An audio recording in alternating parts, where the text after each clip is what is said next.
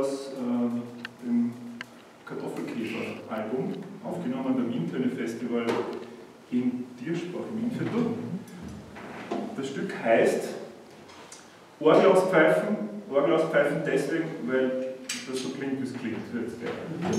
Wir verabschieden uns damit und danke für das Konzert, es war wunderschön in diesem wunderbaren Ambiente.